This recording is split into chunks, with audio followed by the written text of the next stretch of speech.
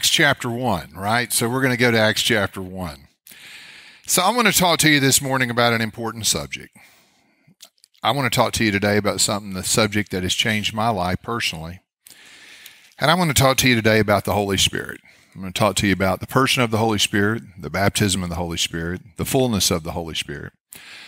And I'm going to start out by making this statement. Did you know God never intended you to live your Christian life without the help and the assistance of the Holy Spirit? God never intended for you to have this idea that I got saved, I accepted Jesus as my Lord and Savior, and then just with my own grit, my own determination, and my own willpower, I'm going to live for God and I'll see you in heaven, Jesus, and I'll just live for you the best I can. You know, that was never the plan of God. God wants to live in us, and He does live in us when we're born again, but He also wants to us to know the fellowship of the Holy Spirit to where it's no longer me living, but it's Christ living in me, and I have this reservoir, I have this awareness that God is in me, helping me to live for Him and to glorify His name. So I want to talk to you today about the Holy Spirit. And when Jesus was with His disciples, if you go through John's gospel, you go through John chapter 1 all the way through John chapter 11, and you're going to cover about three years of Jesus' ministry. But you know, when you get into the 12th, the 13th, the 14th, the 15th, the 16th, 17th, 18th chapter, right there, you're only covering about 24 hours to 48 hours. In other words, here, the first number of chapters here, 11 chapters, cover a number of years. And then you get into the 12th chapter through the 17th chapter, and it's really just covering a very short period of time, like maybe 36 hours or so of Jesus' life. And it's interesting when you look at the 13th, 14th, 15th, 16th, 17th chapter, one of the things that you'll discover, Jesus spent the last part of his earthly time on the earth emphasizing to the disciples the importance of the Holy Spirit. So, if you were going to be with Jesus when he was with the disciples, and you were going to say, What did Jesus emphasize the last evening of his life? right before he was crucified. What was it that Jesus really spent a lot of time talking to the disciples about? One of the things he talked to them about was their need for the Holy Spirit. So he emphasized to them that, you know, there is a, a an advocate, there is one that's going to uh, stand with you, that's going to stand in you, and he's going to help you to fulfill the will of God. Now, notice this then, whenever Jesus was crucified and he rose from the dead, remember he was on the earth for 40 days and showed himself to be alive for 40 days. And then, when you read over in Acts chapter 1, you'll discover that uh, we'll just start reading here in verse number 4. Acts chapter 1 and verse number 4. And it says, And while standing with others, he ordered them not to depart from Jerusalem but to wait for the promise of the Father, which he said, Ye heard from me that John baptized with water. Do you remember John the Baptist was the one that baptized Jesus, right? John the Baptist, the word Baptist there, it's a picture of one, the immerser. John was one that that was his ministry, bringing people to a place of repentance. And Jesus said, You have heard me say, John baptized with water, but you will be baptized with the Holy Spirit not many days from now. So there is there is a part of the Christian life that's being born of the Spirit of God. That's the new birth. That's whenever you receive Jesus as your Lord and Savior. But everybody that has made Jesus their Lord and Savior, there's a second work of grace here that is being filled with the Holy Spirit or baptized in the Holy Spirit. And Jesus said this, but you will be baptized with the Holy Spirit not many days from now. And notice verse 6. So when they had come together, they asked him, Lord, will you at this time restore the kingdom of Israel? And he said to them, It is not for you to know the times or the seasons that the Father has fixed by his own authority Notice verse 8. But you will receive power when the Holy Spirit has come upon you. Now, these disciples believed in Jesus. These disciples believed in the death, burial, and resurrection. They believed in him. They were had seen him alive. This is 40 days after the resurrection. But notice he said, You will receive power when the Holy Spirit has come upon you, and you will be my witnesses in Jerusalem and all Judea, Samaria, and to the ends of the earth. And when he had said these things, as they were looking on, he was lifted up, and a cloud took him out of their sight. And while they were gazing into heaven, he as he went, behold, two men stood by them in white robes and said, Men of Galilee, why do you stand looking into heaven? This Jesus who was taken up from you into heaven will come in the same way as you saw him go into heaven. So, Jesus, right before the ascension, right before he's caught up, he emphasizes to the disciples, you need to be baptized in the Holy Spirit. Now, I've been with a lot of people in the last hour of their life.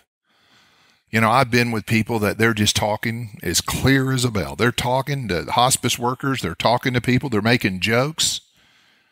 And you come back 90 minutes later, they're gone. I mean, they're that alert and then they're gone. It's like, how does that happen? You know? Well, eh, you think in this case, Jesus is he's talking to him, he's emphasizing things. He didn't die on this occasion, but he got caught up. He was taken up into heaven, he ascended into heaven.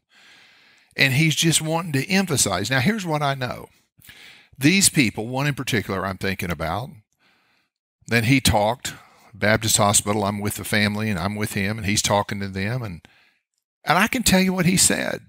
And the reason why I can tell you what I, he said was it was meaningful because those were the last words he ever uttered while he was on the earth. And this man, you know, I officiated his funeral and, and, and I think of this man to this day. And we were at Baptist Hospital and, and, and I started to read a scripture to him and he was there and, and I said to be absent from the body. And he finished the scripture by saying, is to be present with Jesus. And those were the last words he said to me. His name was Wayne King. And this is a wonderful man. And he was, you know, he was just a man that I'll always remember that. Those were the last words he spoke to me. Now, I want to say this. We need to remember the last words Jesus spoke before he ascended, and that is, you need to receive power from on high.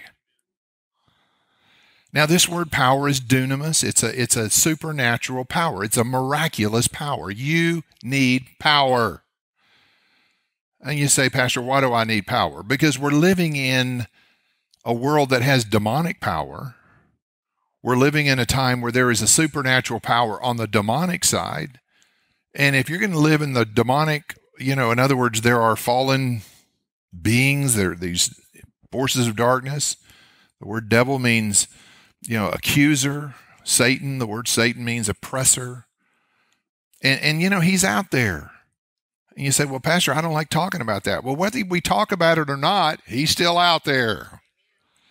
And so, you know, you're living in a world where it's not just a natural world, there is something beyond the natural. And we need supernatural power to confront the supernatural issues of life. So Jesus talked to the disciples and said, You will receive this power. Now let's go to the second chapter of the book of Acts.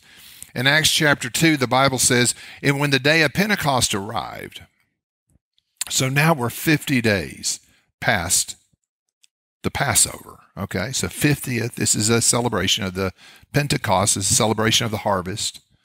And they're celebrating 50 days after Pentecost. And the Bible says that when the day of Pentecost had arrived, so there'd been a 10 day gap between Jesus being taken up and then this event taking place here in the second chapter.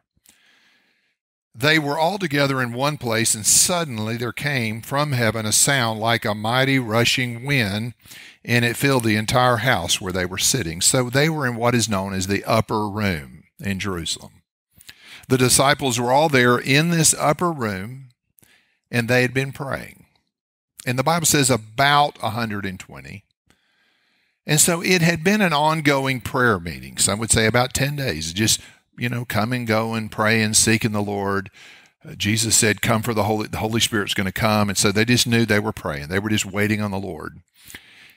And then on this day of Pentecost, the Bible says there came a sound from heaven like a mighty rushing wind, and it filled the entire house where they were sitting. So there was like this mighty rushing wind that filled the entire house there. And the Bible says, and divided tongues as a fire appeared to them and rested on each of them. And notice verse 4.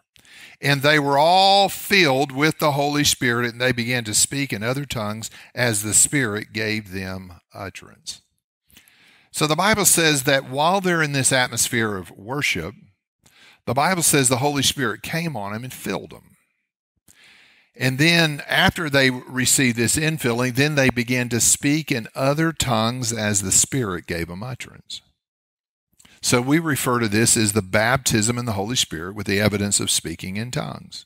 So they're baptized. That's what Jesus, he's the one that used the phrase and then they're filled with the Holy Spirit. Those terms are used interchangeably.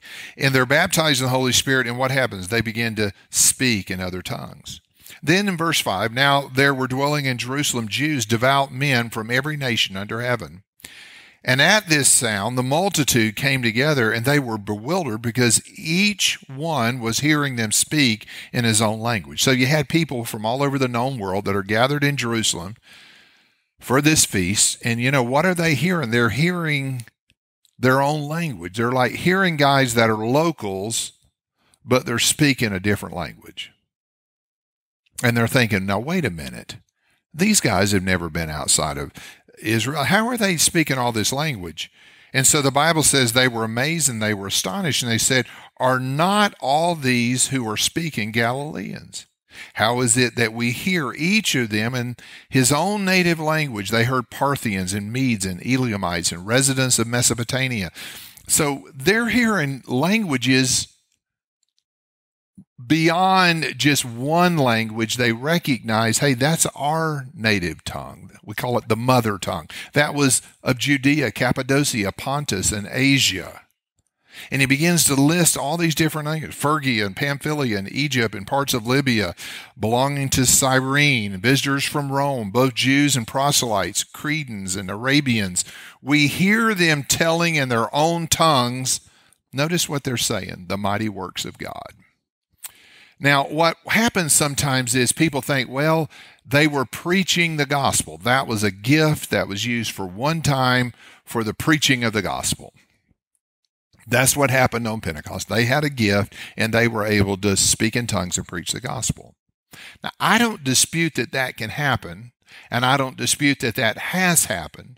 But if you'll just honestly look unbiased at this second chapter of the book of Acts, you'll discover what they heard them saying was they were telling in their own tongues the mighty works of God, and they were all amazed and perplexed, saying one to another, What does this mean? But others, mocking, said, They are filled with new wine. So, you know what that tells me? They must have been doing more than just speaking in tongues. You know, for example, this past week I've been around Hispanic people. And I've been around Hispanic people talking in Spanish. And I walked by them and, and I heard them speaking in Spanish. But you know, I didn't turn around and say, you know, those guys are drunk. Does that make sense? I go, those guys are they're lit up. You know, they're just no, I just say they're just carrying on business in their native tongue. So my point here is there must have been some joy. There must have been some celebration. Did you know that church is not meant to be Deadville, USA? Give me an amen. March the prisoners in, march them out type thing. You know, that's not it. Let the redeemed of the Lord say so. Somebody said Earth is the quietest planet you'll ever live on. You know, in hell there's weeping and gnashing of teeth, and in heaven there's forever praise unto God. And so we need to realize that, you know, they were worshiping the Lord they were singing the wonderful praise of God. I, you know, I don't know what all they were singing, but the point I want to emphasize, somebody say, oh, they were preaching the gospel. Now think about it. Nobody got saved until Peter stood up and began to preach, and then people got saved.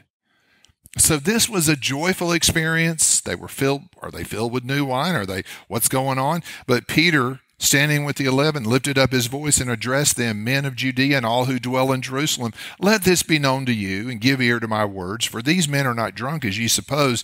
It is only the third hour of the day. So it's nine o'clock in the morning, third hour of the day. It's a 6 to 6 a.m. to 6 p.m. timeline. And they're saying it's only nine o'clock in the morning.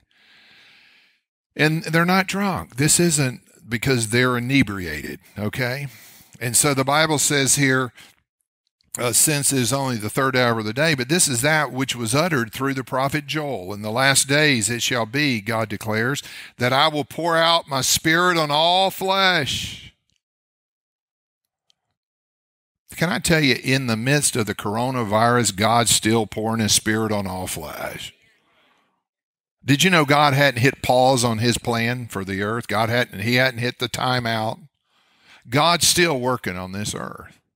And he says, In the last days, I'm going to pour my spirit on all flesh. Notice this your sons and your daughters are going to prophesy. So, this is the picture of a multi generational move of the Spirit that's going to take place in the last days. So, the attitude is not, well, the kids, they're going to sow their wild oats, but they'll come back around. No, how about we stand on this one? Thank you for sons and daughters that are prophesying the word of the Lord. Well, those things, it skips a generation. Well, I rebuke that in the name of Jesus. We declare it's coming from generation to generation. Sons and daughters are going to prophesy, and then it says your young men will see visions. What does that mean? The word vision there, other translation says divinely granted appearances. You know, when I was a young man, God gave, and, and to God be all the glory, but I, God gave me visions. First time I ever had a vision, y'all have heard me share, I was in a church. You know, actually, the first vision I had was when I was a little kid, and I I saw a globe of the world, and I saw God's hand, and it's and I just thought He's got the whole world in His hands. That's all I thought about. And then, you know, I was in church as a little young man, and this little, you know, we'd gone from the big Baptist church down to the little Pentecostal church, you know. I remember my brother and I first we first walked in the first time we walked in we went from the big big big Baptist church then we went to the neighborhood Baptist church you know what I'm saying? And we went to the neighborhood Baptist church. My brother walked in and he started laughing because it only seat about 350 people or so and he thought wow this is a little bitty old church well I tell you when we went to Faith Chapel that would be the Pentecost it was little bitty bitty bitty bitty but you know what? God was there. The Holy Spirit was there. And one day I was in church there and I was just bowing my head. The pastor was praying the dismissal prayer and I bowed my head and I closed my eyes and, and I saw a vision. God showed me a vision of a narrow road. And the Lord made it clear to me, Tom, if you're going to follow me, you got to be willing to walk a narrow road. And you know, that narrow road is what kept me in my 20s. It kept me in my 30s many times. Yeah, that's why, you know, when I do stuff, I go to the Czech Republic and maybe we do these meetings and these pastors only have, you know, maybe they've got a dozen people there. And they're kind of apologetic or, you know, man, I wish more people were here. I've had them say, I'm, I'm sure you've never spoken to a crowd this size. These are church plants in the city of Prague and maybe they got 15 people or so. And you know, I just think, wait a minute, Jesus told me when I was a kid, it's going to be a narrow road. It doesn't, as long as we're on the right road, it doesn't matter. All right. And it's just like if you're on, and you know, the thing later God showed me on that narrow road, it was a beautiful road. And I want to tell you, you might be on a narrow road, but it, it, it can be a beautiful road. So you may be in a difficult time of your life, but it's still a beautiful time. Then the Bible says, your old men will dream dreams. I had a guy in the church here not too long ago call me and he said, Pastor, God gave me a dream last night. And then I quoted the scripture. He goes, You know, I was just thinking of that verse. And he was saying, you know, you say, Pastor, is every dream from God? No, not every dream's from God. But can God talk, still talk to his people that way? He can still talk to his people that way. And I don't go off everything, you know, not everything you see on the internets of God, but there are times that God will visit people. And here's what I'll tell you about a God vision or a God dream. You can still recount it, even if it's been 30 or 40 years. You can still tell what that dream was. So the Bible says that he'll pour his spirit, and he says, even on your male servants and female servants in those days, I will pour out my spirit, and they shall prophesy. Now, when you prophesy, you're speaking for another person. It's a picture of a divinely inspired utterance, and it's in a known tongue. It's whenever somebody speaks, and they're speaking by the Holy Spirit. Nothing anybody says replaces Scripture. Any prophecy somebody has is subordinate to Scripture. Does that make sense?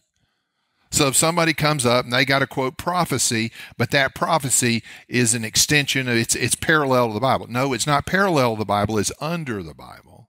It's subordinate to Scripture.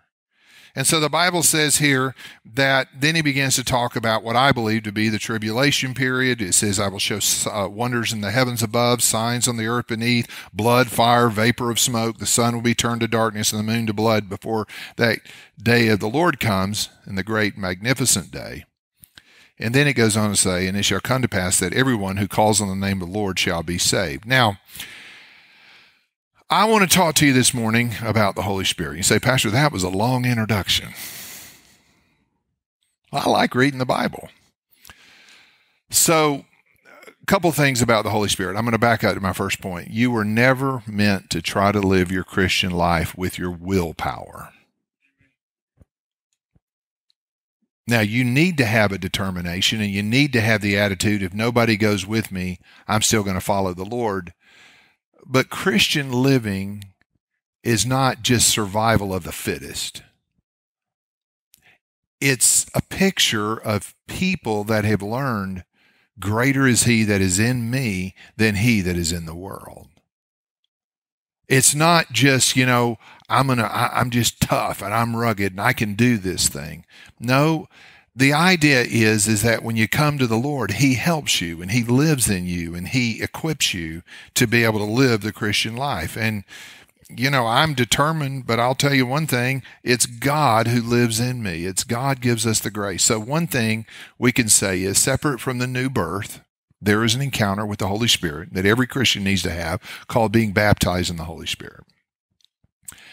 The baptism in the Holy Spirit is separate from the new birth. It can happen at the same time as the new birth, but there is a time when you receive the Holy Spirit as your baptizer, just like you receive Jesus as your Savior. Now, whenever you got baptized in water, there was a pastor or some officiant that took you, the candidate, and immersed you into water. And we call that water baptism. The baptism in the Holy Spirit takes place this way the officiant is not a man, the officiant is Jesus Christ. And the Bible says Jesus said, I will baptize you. You're the candidate. And then instead of being water, you're being immersed into the Holy Spirit. Now, you have the Holy Spirit in the new birth, but there's an overflow of the Holy Spirit. There's a infilling, there's a greater portion of the Holy Spirit, the greater measure. And so what happens is when you're baptized in the Holy Spirit, the Bible says in Acts chapter 2 that they were filled with the Holy Spirit and they spoke in other tongues. Now, I know that is the question mark people have. What about tongues? What's the significance of tongues? Is it important? Is it helpful? Well, obviously, there is tremendous opposition to tongues. You know, if you mention praying in tongues, people automatically say, Oh, my Lord, they're going to break out the snakes next, right? Give me an amen here. People get curious. People want to know what about speaking in tongues? But here's one thing I can promise you Pastor Tom will never handle a snake. You heard about that one guy went in a church and they were snake handling, and he looked around and he goes, Where's the door? And they go, There's not one. And he goes, Where do they want one? anyway, what I'm getting at is, y'all, there is an infilling of the Holy Spirit. Now, let me tell you my story. So I'm a young man, six years old. I got baptized. I received Jesus as my Lord and Savior as a first grader, and it's as clear as a bell. Somebody said, "Oh, you don't remember that?" No, I remember where I was at. I can take you to Google Earth. I can take you to that church, and I can tell you where the pastor's office is, and I can tell you exactly where I was at when I received Jesus. I can tell you what he said to me, and I can tell you what I said back to him. And a couple days later, I got water baptized. But then there was this move of the Spirit that was coming through our town. A lot of people from denominational churches were getting baptized in the Holy Spirit. And so my parents were curious about this. And so they went and, and then they were filled with the Holy Spirit and spoke in other tongues. And they said, Hey, Tom, you know, we're going to go to this meeting. I would say by then I'm about a fifth grader. And I went to this meeting and I remember they said, Does anybody here want to be filled with the Holy Spirit? Anybody here want to be filled with the Holy Spirit? So I said, well, you know, I, am interested in that. I remember the hotel. I remember, you know, we went and there was maybe a group of about maybe six people, six, seven people in a circle. That's maximum. And I just remember he said, now I'm going to pray for you. And when I pray for you, I just want you to begin to receive the Holy Spirit. And then whatever words the Holy Spirit gives you, whatever language he gives you, I want you to utter that. I want you to speak that out. Well, you know what I did? I was in that little group of people and I was the young kid in the group and I remember being there and then just I just began to pray in tongues. Now here was the first thought I had. This is a whole lot easier than I thought it was going to be. Because see, I'd heard about tongues of fire. I thought somebody the Holy Spirit was going to jump down there. I was going to honestly, I thought, man, this is kind of easy. Actually, I was expecting this to be hard. But I'm just sitting there, and all of a sudden, I just, just right then, I just began to pray in the Spirit.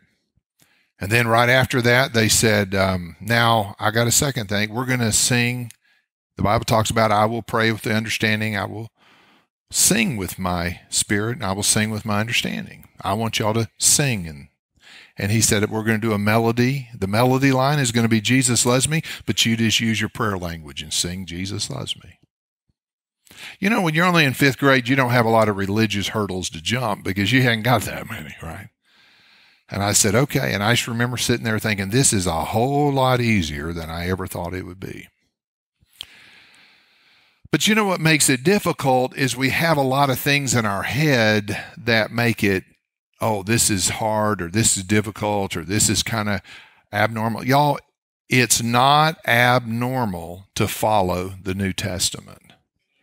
It's actually abnormal whenever you're not walking in the fullness of what they had. So let's go over to uh, let's go over to the book of John, chapter number fourteen, and let's see what Jesus Christ had to say about the Holy Spirit. Okay, in John chapter fourteen, in verse number twenty-six, Jesus speaking to the disciples, he said, "But the Helper." The Holy Spirit, whom the Father will send in my name, he will teach you all things and bring to your remembrance all that I have said to you. So, one of the roles of the Holy Spirit is he's a helper. And I can promise you one thing in your life you're going to need help at some point in your life.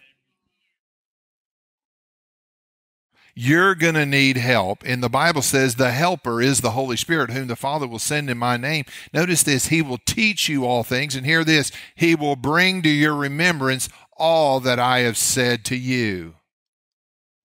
So, see, the Holy Spirit is a helper. And if you're wanting to serve God, if I were you, I'd take all the help God offers.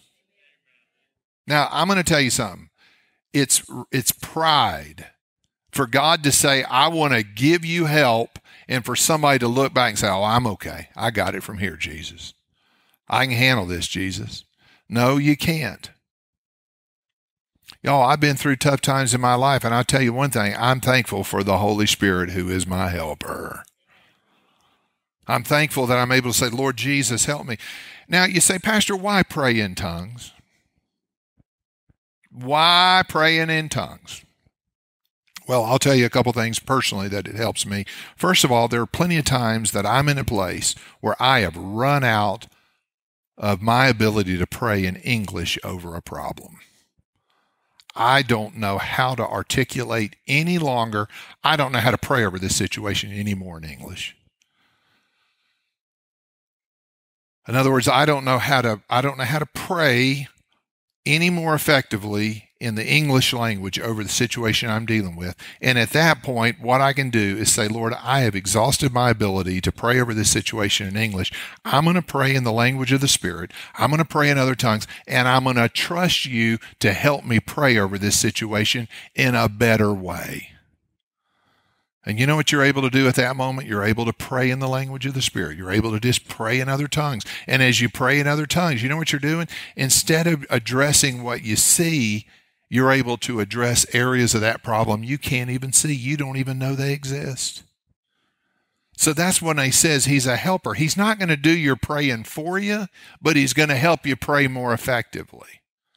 And the Bible says whenever you pray in tongues, Here's what will also happen. Now, this is just talking about the Holy Spirit in general, but I'll tell you when you pray in the Holy Spirit, He will bring things to your remembrance. Many times when I'm praying in tongues, while I'm praying, stuff comes to my mind. God brings up certain things. You need to take care of this, or you need to be aware of that, or you need to handle this. Now, I'm going to say this your spirit is is where the Holy Spirit lives, and your your spirit knows things that your mind doesn't know. So there's things down in your heart that you don't know. I, I heard this one preacher one time. He tells a story. He said, "You know, I got up one morning." And he said he was always in a hurry. He said, I was always in a hurry. And I got up and I was driving one day and he said, I, I just felt the Lord spoke to me that fast and said, Slow down. There's a police officer up here. And then he made the statement, you know, I don't always obey the Holy Spirit. You know? And so he said, I just kept driving. I went around the corner and he said, sure enough, there was sirens. The police officer pulled me over and told me I was speak. And he said, as soon as that police officer got out of his car and walked up next to me, he says, you know, the Jesus told me you were here. Lord told me you were going to be here. And the police officer looked at him, realized he's a pastor, and he's a pretty prominent pastor in that town. And he said, "What? You know, kind of like what's this?" Uh, and he said, "Yeah, yeah, I was back there, and I felt like the Holy Spirit just spoke to me that fast and said, "Slow down. There's a police officer up there." And he said the police officer checked out his license and tag and all that. Came back. And he said, "Reverend, I'm going to let you off, but next time you better obey God."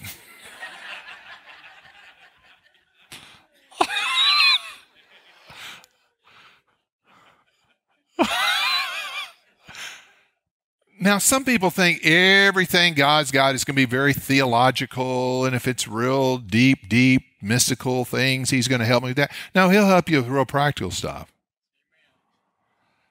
You know, when you're a single parent, you need some real practical stuff.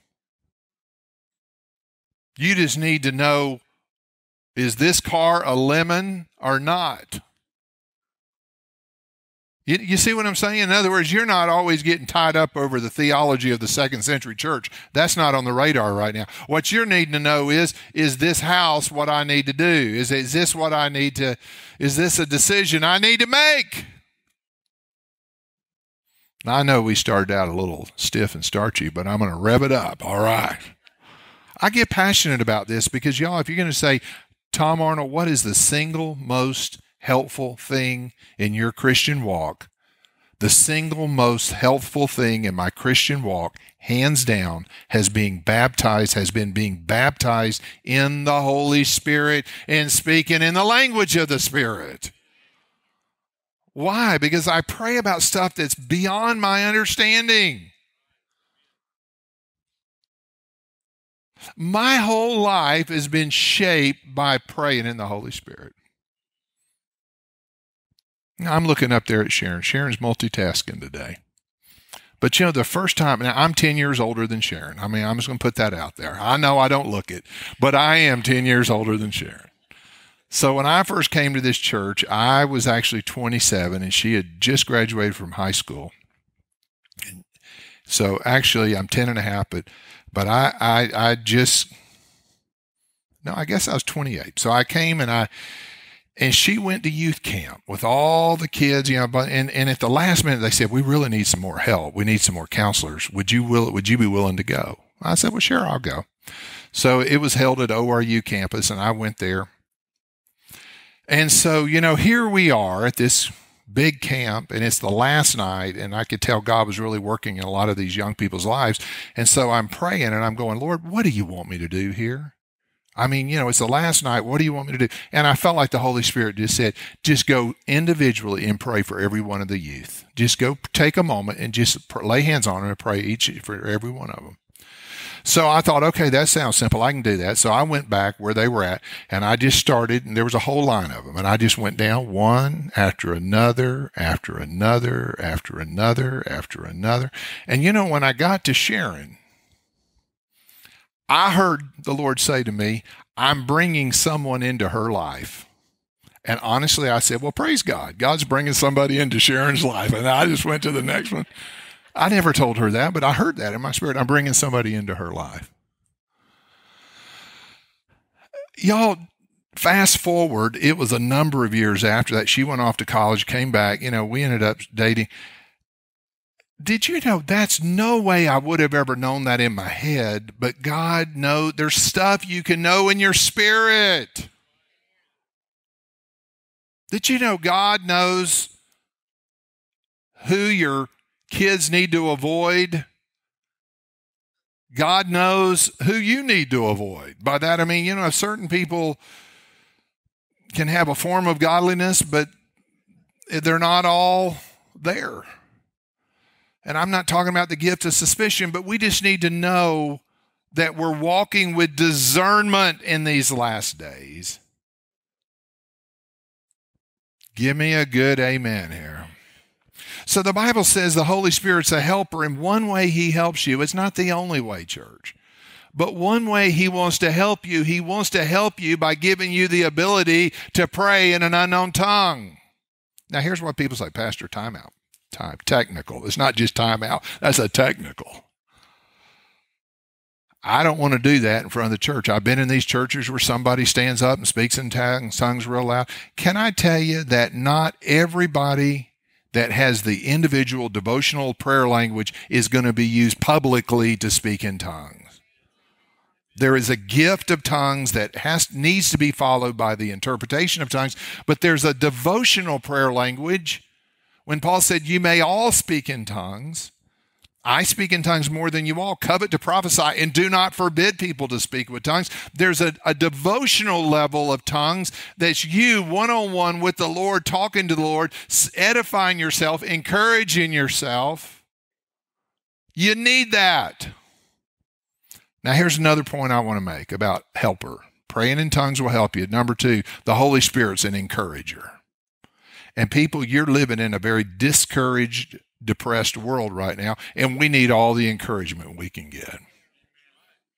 And whenever we pray in the language of the Spirit, you know, there's this encouragement that comes on. So the Bible says the Holy Spirit will bring things to your remembrance. And he said, Peace I leave with you, my peace I give unto you, not as the world gives, do I give to you. Let not your heart be troubled, neither let it be afraid. You know what the Holy Spirit does? Hear this, church. He brings supernatural peace in your life. Now, here's how the world works if everything's peaceful, I'll be peaceful. But people, you can be in times when it is not peaceful at all. It's chaotic, it's crazy. But Lord, I'm going to rest in you. I'm going to look to you and I'm going to rest in you. Now, I want you to go over with me, if you would, over to, uh, to the next chapter, the 15th chapter. And I want you to notice at verse number 26. We're going to read on about the Holy Spirit. He calls him, But when the Helper comes, Jesus said, Whom I will send to you from the Father, the Spirit of truth. The Holy Spirit is the Spirit of truth. You're not going to get in error by hungering for the Holy Spirit. The Holy Spirit's assignment is to keep you on track. And that's where people say, oh, I don't want to get goofy. I don't want to get off base. Well, the Holy Spirit is the Spirit of truth. He's the one that'll lead you. Now, I'm going to tell you, y'all, I've made mistakes in life, but it wasn't because I was following the prompting of the Spirit. When I follow the prompting of the Spirit, I find out the prompting of the Spirit's right. It's me trying to override that is where I get wrong. But if you'll listen to the Holy Spirit, the Spirit of truth, whom proceeds, who proceeds from the Father, notice this, he will bear witness about me. The Holy Spirit is always pointing people to Jesus Christ. The Holy Spirit is always redirecting you back to the person of Jesus Christ. So you say, we got a real spirit filled church. Let me tell you, a spirit filled church is a church that emphasizes the name of Jesus, the blood of Jesus, the power of Jesus, and that Jesus is coming again soon. So you're not going to have, oh, I got a spirit filled church. And we talk about all this extraneous uh, stuff that, has Jesus ever talked? Not really that much. Y'all, we centralize around him. He is the preeminent, the scripture says. He is the visible image of an invisible God. So we focus on that. So the Holy Spirit is a helper, and he'll bear witness from you. He'll bear witness to you, rather. He'll communicate to you. Now let's go over the 16th chapter. And then Jesus said this in John chapter 16. In verse number, let's just read verse number seven. Nevertheless, I tell you the truth. It is to your advantage that I go away. For if I do not go away, the helper will not come to you. It's an advocate, paraclete.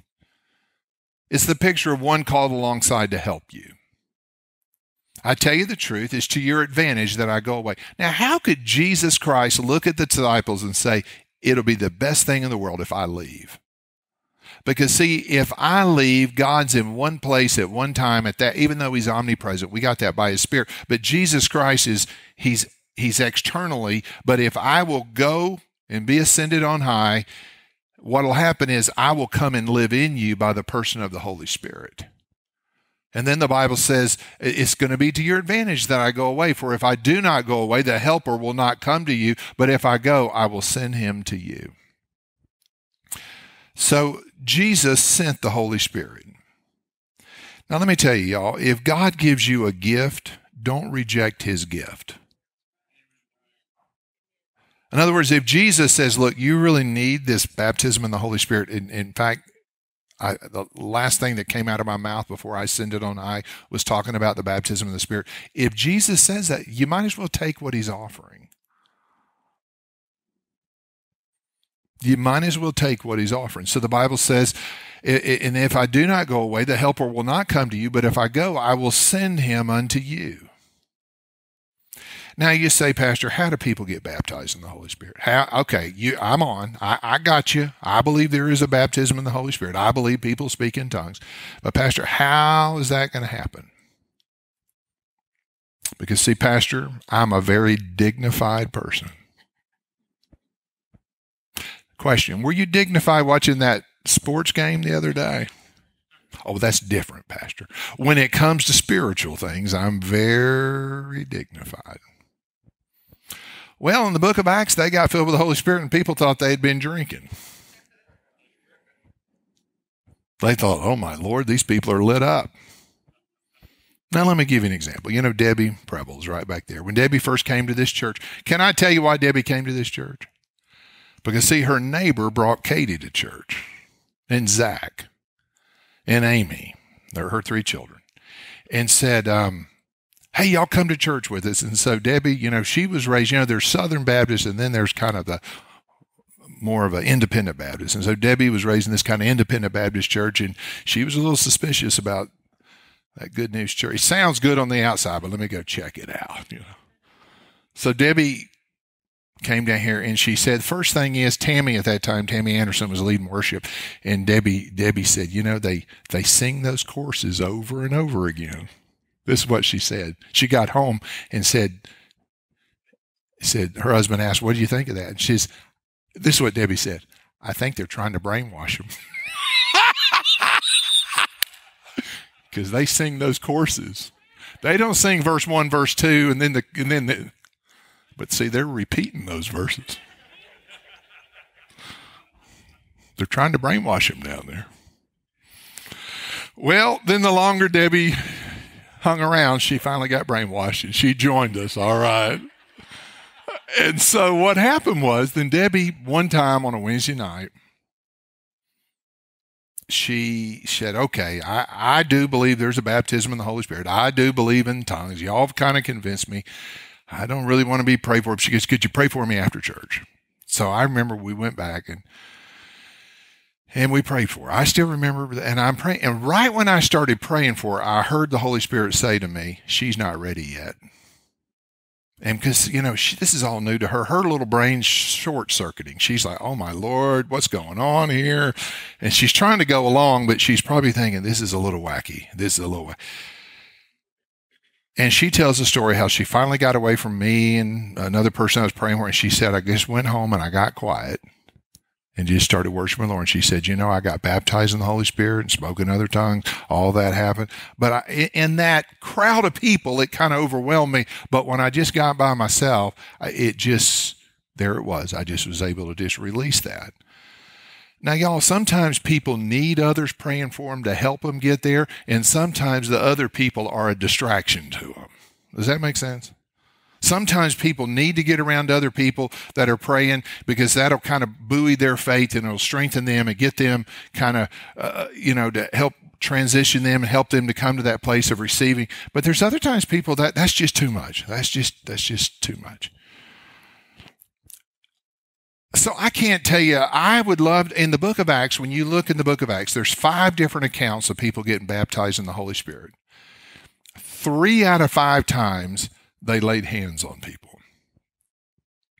So we would say three out of five times it was through the laying on of hands that people received.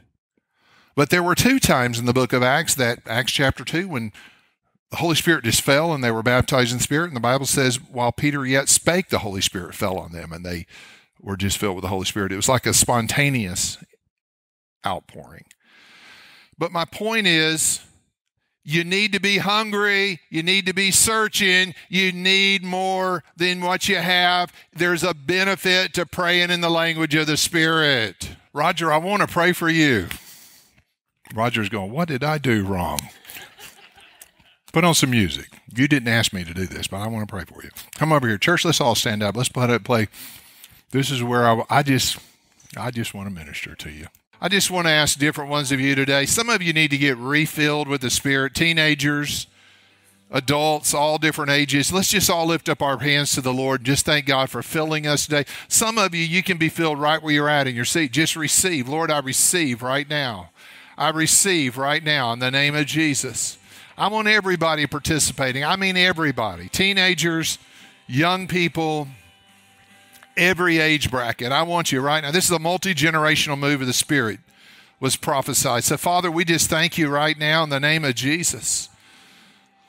Hallelujah. Now we just going to go ahead. We're just going to go ahead and bless him, pray in the language of the Spirit, right where you're at. Just go ahead and release that. Would you do that? Just pray it out. You say, Well, I've never done that. I, I don't know how to do that. Well, you just speak out the first word there'll be a desire in you to say something that's not English, follow that desire. Just let that flow right there in the name of Jesus. Lord, we bless you today. We thank you today for finishing every good work you've started in Roger's life in the name of Jesus. Lord, we just thank you today, Father, for finishing every good work that you've started in every person here. Lord, we thank you today for the filling. Thank you for filling us. Thank you, Lord Jesus. Lord, I bless you. I glorify your holy name, Lord Jesus. Yes, Lord, we hunger for you. We hunger, Lord Jesus. Praise you, Lord Jesus.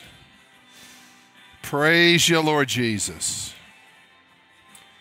Thank you, Lord Jesus. Lord, thank you for filling us all afresh and anew. Praise you, Lord Jesus. Father, thank you for this reminder that when we pray in the language of the Spirit, we're praying the perfect will of God, Lord. Lord, we bless you today, Father. We give you all the honor and the glory for this, Lord, in the precious name of Jesus. Praise God. Praise you, Lord Jesus. Amen. Praise the Lord. You can be seated, church. Let me just say something real quick. You know, we're going to wrap up. I know I've gone a little extra time, but you know, we got a time clock back there and it only goes to 60 seconds and then it starts all over again. One time there was a young man in the church and he, he kept looking at that clock and he thought, he's got it. He's about to be over. He's about to be over. And then he looked back there and it started all over. He goes, oh no, he's starting another hour, you know. So but I'm not going to start another hour. All right. I just want to say this, church. Jesus said, If anybody's thirsty, let him come after me and drink. You know, one time I, when I was a young pastor, I, I every time, every service, I'd say, anybody want to be filled with the Holy Spirit? Come up here, come up here. And I, I wasn't having people respond. And I said, Lord, what am I doing wrong here? And the Lord said, I said, if anybody's thirsty, let him come unto me and drink. Y'all, if people aren't being filled, we got to get thirsty for more. We got to have thirst in our heart. Lord, I want more. I want more. I'm hungry for more. When we get satisfied, that's when it peaks out, but we just stay hungry for more of God. Amen. Well, thank you for being here today, and we love you very much. And uh, I encourage you to just stay hungry and thirsty for God. Amen. And stay hungry for the move of the Spirit.